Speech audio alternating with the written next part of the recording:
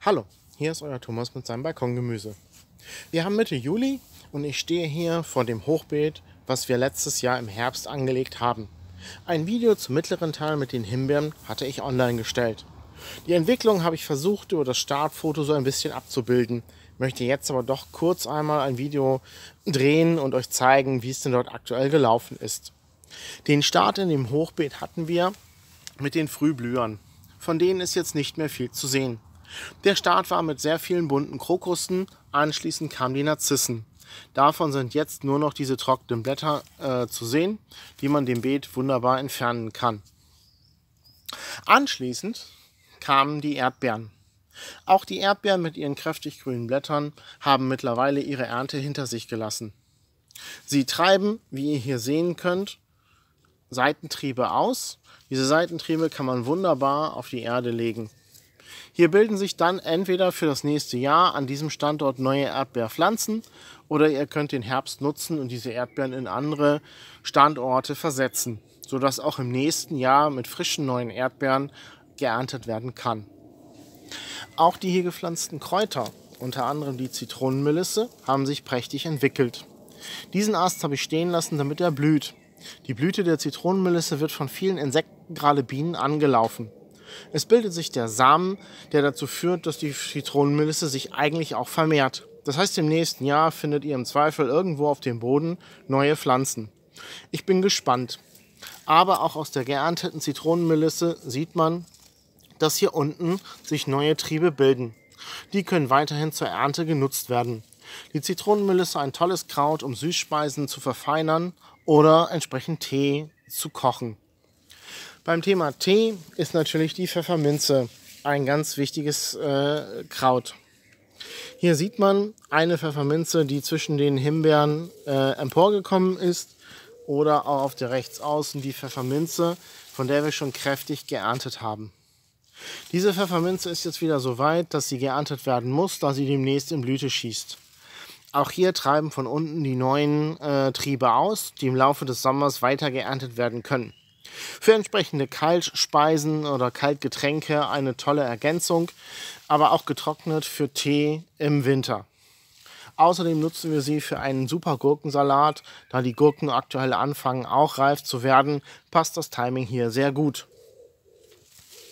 Auf der rechten Seite habe ich eine schwarze Johannisbeere gepflanzt. Die habe ich vor etwa vier Jahren selber gezogen, indem ich einen solchen Ast abgeschnitten habe, in Wasser gestellt habe und er Wurzeln geschlagen hat. Aktuell sieht man, dass die ersten Früchte auch hier reif werden und geerntet werden können. Ich denke, dass im nächsten Jahr die erste größere Ernte hier möglich ist. Auch bei der Blaubeere ist es so, dass sie den Umzug relativ gut überstanden hat. Es werden sogar schon jetzt im ersten Jahr die ersten Früchte gebildet. Sie werden in den nächsten Wochen reif und die Blaubeere ist wirklich eine ganz, ganz tolle Kübelpflanze. Um euch das zu zeigen, habe ich einen anderen Kübel hier mal daneben gestellt. Den habe ich auch vor etwa vier Jahren angepflanzt und wie ihr sehen könnt, ist er voll von dicken Blaubeeren. Sie gewinnen hier langsam an Farbe und können in den nächsten Wochen in Etappen immer wieder geerntet werden. Die Blaubeere von dem eigenen Balkon oder von der eigenen Terrasse eine ganz, ganz wunderbare Pflanze. Aber auch die Himbeere hat mittlerweile ihr Stadium erreicht, dass die Ernte da ist. Diesen mittleren Teil habe ich euch im letzten Jahr gezeigt, wie ich ihn angelegt habe. Die Himbeeren dominieren jetzt und sind mittlerweile reif. Sie können laufend geerntet werden und direkt verputzt werden, da keinerlei Giftstoffe oder Chemie oder ähnliches draufgespritzt wurde. Diese Äste tragen in diesem Jahr. Sie können im Herbst nach der Ernte weggeschnitten werden. Aber auch fürs nächste Jahr sieht es gut aus. Dieser kräftige Trieb hier hinten oder ihr seht da vorne auch einen Trieb. Die werden im nächsten Jahr für eine reiche Himbeerernte sorgen. Zum Thema Himbeeren hatte ich euch ja meinen allerersten Kübel mal gezeigt. Den habe ich vor etwa zwölf Jahren gepflanzt und er trägt jetzt, ich glaube, das zwölfte oder dreizehnte Mal in Folge. Auch hier sieht man, dass wir eine reiche Himbeerernte hinter uns gebracht haben, beziehungsweise immer noch mittendrin sind.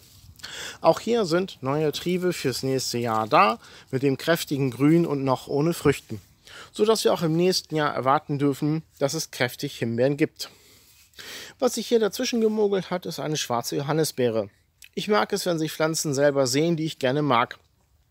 Hier bin ich im Überlegen, die einfach mal stehen zu lassen und sie hier oben den Luftraum vielleicht einnehmen zu lassen. Mal schauen, wie sich das entwickelt.